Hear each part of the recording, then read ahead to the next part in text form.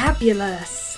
Lucy Mecklenburgh isn't shy when it comes to sharing the results of her workout regime. The reality star tweeted a revealing snap of her super toned abs as she pumped iron.